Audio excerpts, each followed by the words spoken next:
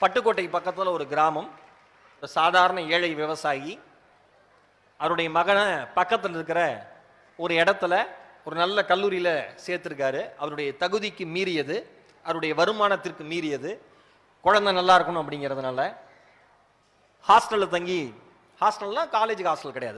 Hostel தனியாக நண்பர்களுடைய அறை எடுத்து தங்கியிருக்கான். ஒரு ரூம் எடுத்து அந்த பையன் தங்கியிருக்கான். அந்த பையனை பார்க்கறதுக்காக அந்த ஏழை விவசாயி போறாரு. போயிட்டு பையனை பார்த்துட்டு என்னப்பா நல்லா இருக்கியாப்பா? நல்லா படிக்கிறியாப்பான்லாம் கேட்டுட்டு கையில் காசு கொடுத்துட்டு உடம்பு பார்த்துக்கோப்பான்னு சொல்லிட்டு வராரு.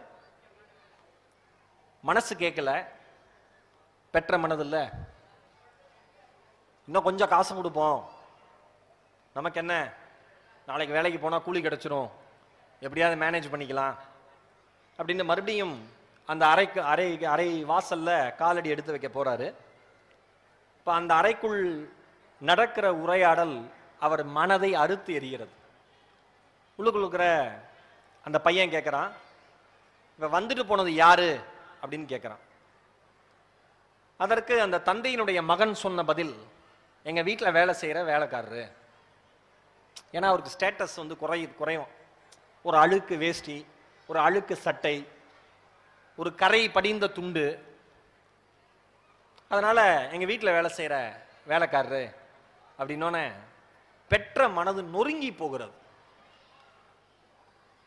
அந்த பையன் தங்கியிருந்த அந்த ரூம்லேருந்து அந்த அறையிலிருந்து தன்னுடைய கிராமத்திற்கு அந்த ஏழை விவசாயி நடந்தே வருகிறார். மனம் முழுக்க பாரம். மூன்று நாட்கள் யாருடனும் பேசவில்லை.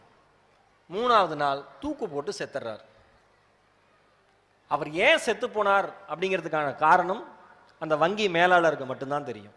அடுத்து எனக்கு தெரியும் இப்போ உங்களுக்கு தெரியும். உங்களுடைய தந்தை டீக்கடையில் வேலை செய்கிற சாதாரண தொழிலாளியாக இருந்தாலும் கார்ல வந்து டாப் பண்ற அப்பாவை விட ஆயிரம் மடங்கு பெரியவர் உங்களுடைய தந்தை என்பதை மறந்து விடாதீர்கள்.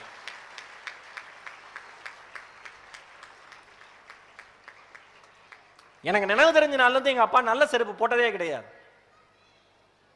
ஒரே செருப்பை தச்சு தச்சு மறுபடியும் போட்டுக்கிட்டே இருப்பார். நீங்க நாங்களாம் சம்பாதிக்க ஆரம்பிச்சோன்னா தான் நல்ல செருப்பு போடுறாரு. என்னைக்காவது அம்மா நல்லா சாப்பிட்டு நீங்க பார்த்துருக்கீங்களா? சகோதரி சொன்னாங்களே ஃபேஸ்புக்கில் யார் யார்கிட்டயோ how are you have breakfast அப்படிலாம் கேட்டு ஒரு கொஸ்டின் மார்க் போடுறீங்கல்ல? முன்னூற்று அறுபத்தைந்து நாட்களும் உங்கள் பக்கத்திலே நின்று சாப்பிட்டியாமா சாப்பிட்டியாமா சாப்பிடுமா சாப்பிடுமா சாப்பிட்டியாப்பா சாப்பிட்டியாப்பா சாப்பிடுப்பா சாப்பிடுப்பான்னு சொல்ற அந்த இரண்டு உள்ளங்களை பற்றி நாம் என்னைக்காவது கவலைப்பட்டிருக்கோமா? நான் ஜெயிச்சதற்கான காரணம் நான் படித்த படிப்போ நான் படித்த படித்ததன் மூலமாக வந்த அறிவோ இல்லை நான் வாங்கிய விருதுகளோ இல்லை நான் இப்பொழுது ப- பணிபுரிகின்ற விஜய் தொலைக்காட்சியோ எதுவுமே என்னுடைய பெருமைக்கு காரணமாக நான் நினைக்கவில்லை நண்பர்களே தோழர்களே சகோதரிகளே சகோதரர்களே. என் தாயும் தந்தையும் போட்ட பிச்சை தான் இந்த வாழ்க்கை என்பதில் எனக்கு அழுத்தமான நம்பிக்கை இருக்கிறது.